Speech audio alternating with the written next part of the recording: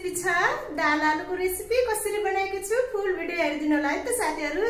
Hello everyone Deepa Singh cooking भिडियोमा हजुर सम्पूर्ण मेरो युट्युब फ्यामिलीलाई स्वागत छ अनि नमस्कार छ। आज एकदम सिम्पल तरिकाको आलु दाल बनाउँदैछु रेसिपी। कहिलेकाहीँ घरमा तरकारी नहुँदा यसरी यो दाल बनाउँदा एकदमै मिठो हुन्छ तरकारी पनि चाहिँदैन साथीहरू। अनि फुल रेसिपी भिडियो हेरिदिनु होला वाच गरिदिनु होला।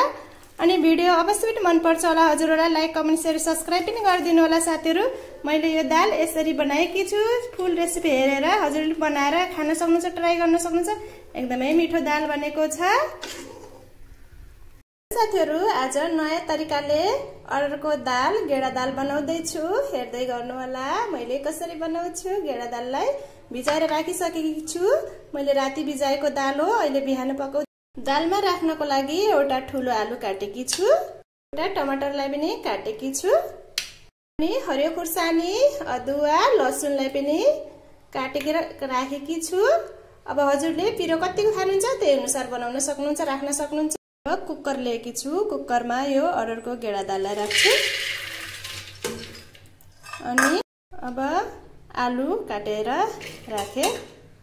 त्यसपछि टमाटरलाई राख्छु एउटा ठुलो टमाटर काटेकी छु। टमाटरलाई राखेँ अनि अदुवा लसुन हरियो तिनवटा खुर्सानी राखेकी छु। हजुरले कतिको पिरो खाने त्यही अनुसार राख्न सक्नुहुन्छ। पानी राखेँ ठिक्क राख्नुपर्छ पानी धेरै राखेँ फेरि उम्लेर। एक चम्चा बेसार राखेँ हल्दी पाउडर। एक चम्चा नुन राखेँ नुन चाहिँ कतिको खानुहुन्छ? आफ्नो टेस्टको हिसाबले राख्न सकिन्छ। प्रेसर कुकरको ढक्कनलाई लगाइसकेकी छु। कुकरलाई ग्यासमा बसाले। अब चार सिटी लाग्न दिन्छु।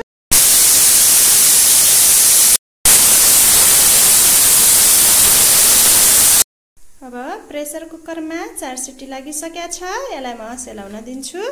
कुकर सेलाइसकेका छ यसको ढक्कन खोल्छु। दाल कस्तो बाहा हेर्दैछु। दाल एकदम राम्रोसँग पाकिसकेका छ। अब यसलाई तड्का लाउनतिर लाग्छु।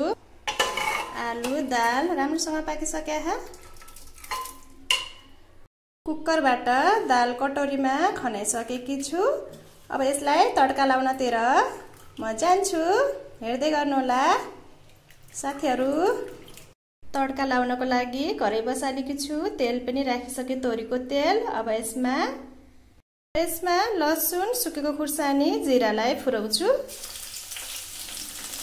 अब यसपछि प्याज पनि राख्छु काटेको प्याज। प्याजलाई ब्राउन कलर हुँदासम्म भुट्छु एक चम्मच जिरा धनियाँको पाउडरलाई राखेँ। यसलाई पनि मिक्स गर्छु। अघि कटोरीमा निकालेको दाललाई राख्छु।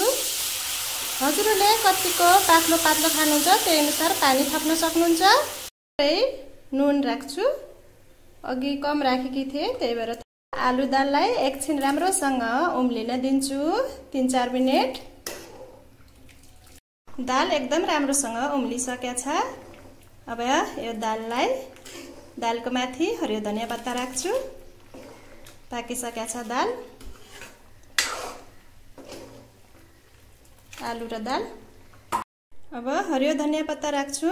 दालको माथिदेखि एकदमै मिठो बास्ना आउँछ हरियो धनियाँ पत्ताले। अब दाल पाकेर रेडी भइसक्यो साथीहरू। हजुरले पनि एकचोटि यो रेसिपी हेरेर बनाएर खान सक्नुहुन्छ। एकदमै मिठो दाल। तरकारी नभएको बेला तरकारी पनि चाहिँदैन यसरी बनाएर खाएपछि। अनि अहिलेसम्म मेरो भिडियो हेरिदिनु भएकोमा मेरो युट्युब फ्यामिलीलाई थ्याङ्क यू सो मच अनि हजुरहरू सबैजनालाई धेरै धेरै माया पनि छ। मेरो सम्पूर्ण युट्युब फ्यामिलीलाई।